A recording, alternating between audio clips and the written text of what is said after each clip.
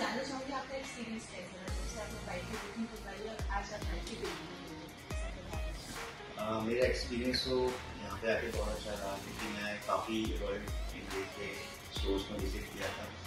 But मैं सबसे and में, मेरे जो बुकिंग है, मैंने देखा कि सबसे भी मेरी यही पड़ रही तो जितने भी मैंने अभी तक स्टोर्स में मैं गया हूँ, उन सबसे ज़्यादा मुझको जो बोल सकते हैं कि सब स्टाफ का बिहेवियर से लेकर सब चीज़ों का एक्सपीरियंस मेरा बहुत अच्छा रहा और बहुत यहाँ पे स्टाफ काफ़ी कॉपरेटिव है।